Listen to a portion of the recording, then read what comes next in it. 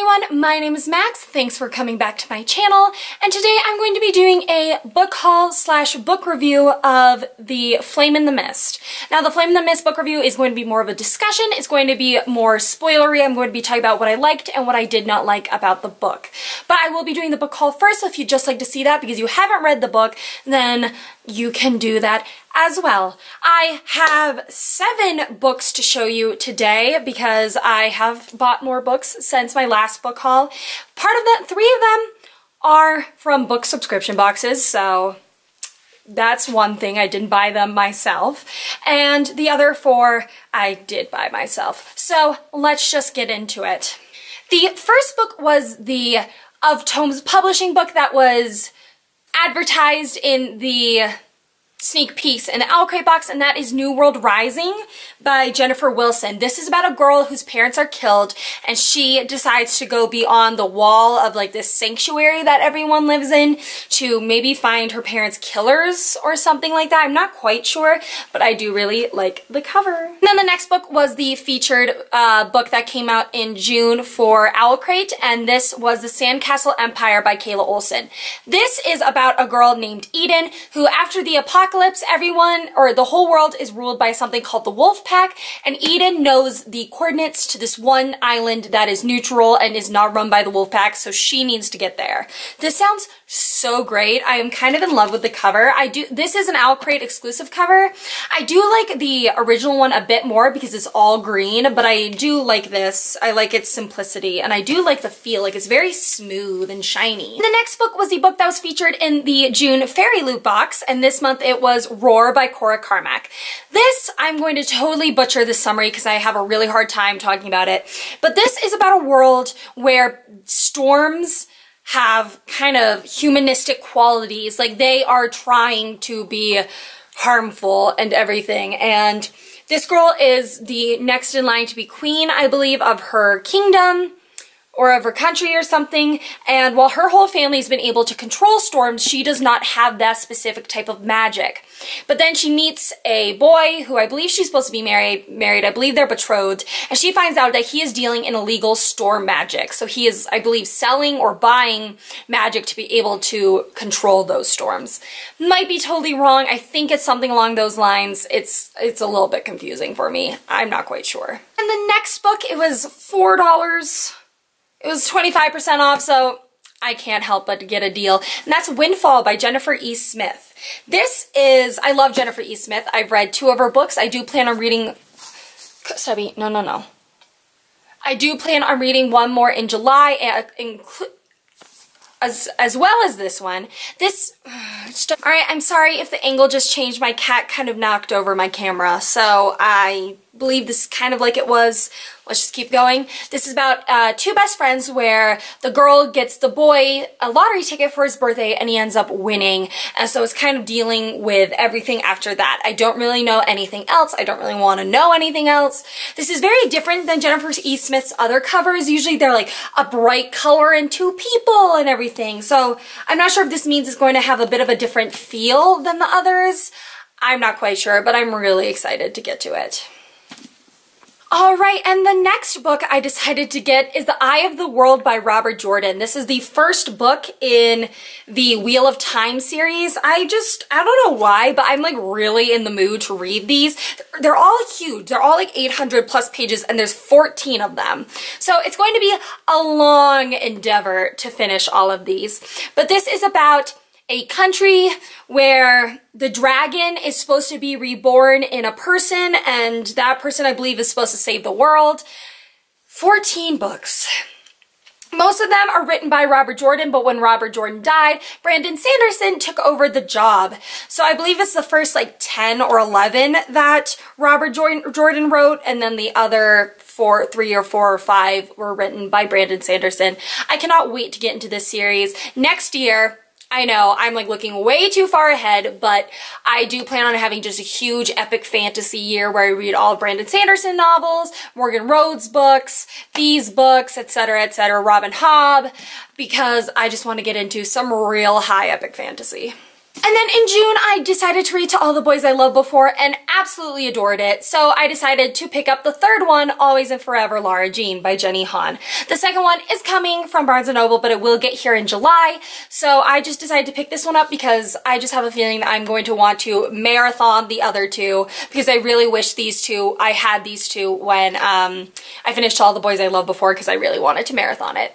If you don't know what this trilogy is about, it's about a girl named Lara Jean who, to get over a crush that she has, she writes them a letter. She talks about what she likes about the boy, what she doesn't like about the boy, but she never sends them. She just like puts in their address, she signs and dates and everything, but she doesn't send them. But one day she comes home from school to find out that all of them have been sent.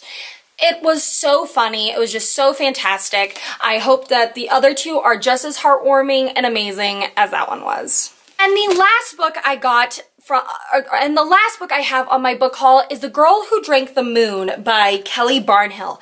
I really want to get into some middle grade just because they're really easy, they're really fun, and this one, it won the Newbery Medal, so I decided why not start with this one, and just look at this gorgeous cover.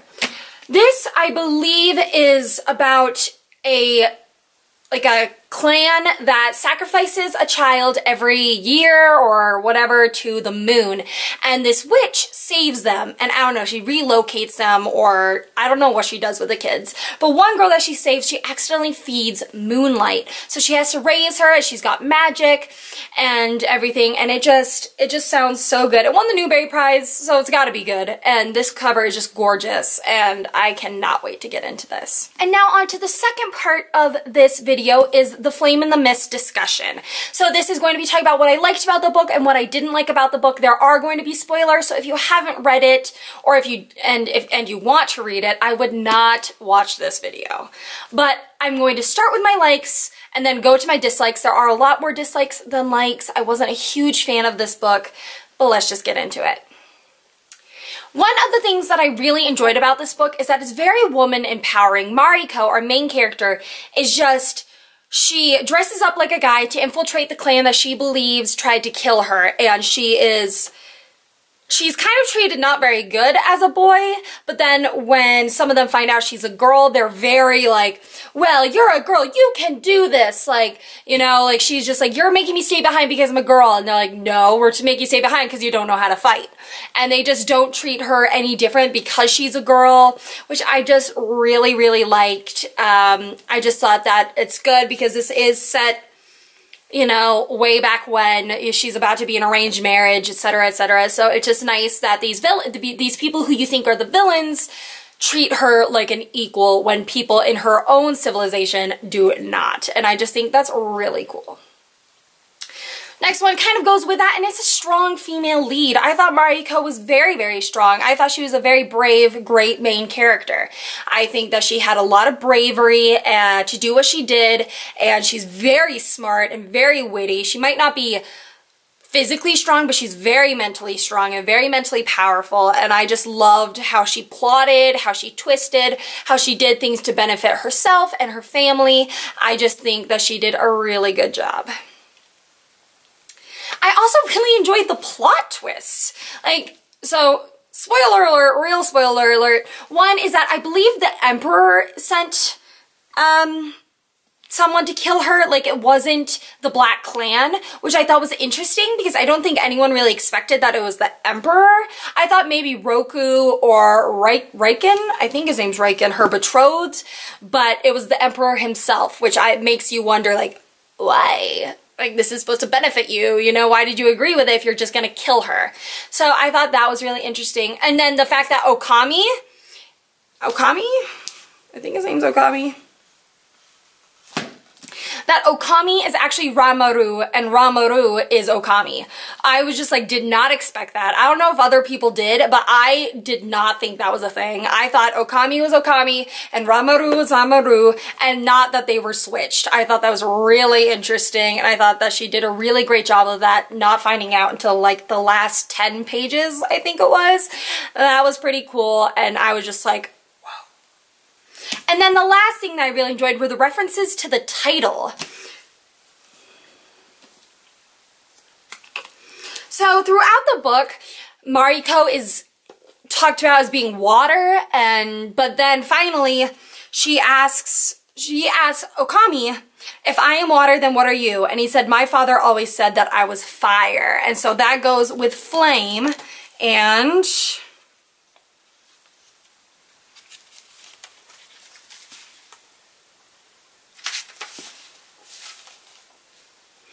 And then she says uh, kind of about herself, she, wind could whip a fire into a frenzy, make every oak bow, lash water into mist. And she's kind of talking about herself in this. Oh, wait. Oh, wait. So then Okami is thinking about her and he says that wind could whip a fire into a frenzy, make mighty oak bow, lash water into mist. And he is talking about her when he is talking about this mist. And I, so that just kind of brings together the whole flame in the mist aspect. Um, I don't really know what the in the mist is supposed to be because he's the flame, she's the mist. I don't really understand the total reference of the title or if it's just supposed to sound pretty and metaphorical and stuff, but I did really like it. In the fairy loot that came in May, you got either a flame candle or a mist candle, and I know that the candle company that made them, I can't remember what it is. In the Wick of Time, they actually, they're starting to brand them, like make their, the candles public, but it's going to be Okami and Mariko instead of Flame and Mist, which I thought was really cool because it does make sense. And now onto the dislikes. What really drove me crazy was how much she like said little empowering tidbits to herself. Like here's one.